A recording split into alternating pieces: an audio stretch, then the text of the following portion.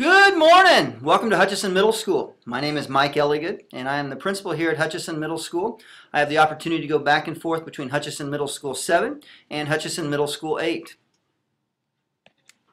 I'm extremely glad that you're here, and I look forward to having an awesome school year, as well as do your teachers and all the other staff that are here to help serve you at Hutchinson Middle School throughout the school year.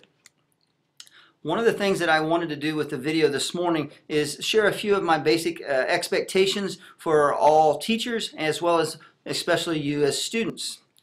So the first one here is, uh, and you can read along with me as we go. I understand that I shall be responsible for understanding and complying with this code of student behavior. Any behavior on the student's part that keeps teachers from teaching or other students from learning is considered a distraction and may result in disciplinary action basically what I mean by that, and it is in your handbook, is that anything you do that is a distraction for your teachers or for other students is unacceptable. You are 12 to 14 years old, and we expect you to act like an adult, uh, even though we know you're going to make mistakes once in a while. But we do expect you to get better with that and have less and less distractions throughout the school year. Some of the highlights are, number one, I will, have, I will behave acceptably while at school or school functions. This includes not only during the regular school day, but if you're attending activities. Two, I will follow directions of my teacher and or any staff member in the building. This includes all paras, lunchroom, custodians, any adult that's in the building you will follow directions for. Number three, I will be prepared for class. This is as simple as bringing your textbook, bringing your pen or pencil, and bringing some paper. I don't believe our expectations for that are too high, but that's one of the things that makes it so that middle school students are not successful. Number four, I will do my work both in class and at home.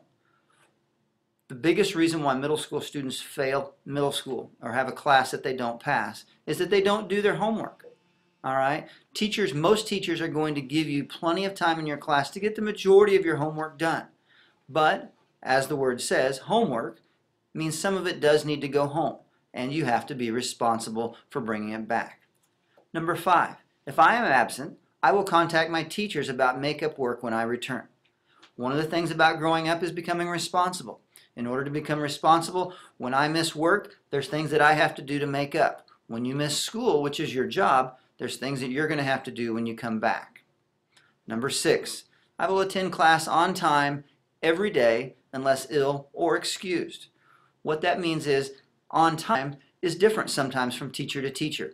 Some teachers may expect you to be sitting in your seat uh, and ready to go when the bell rings. Other teachers may say, hey, all you got to do is make sure your body is in the classroom.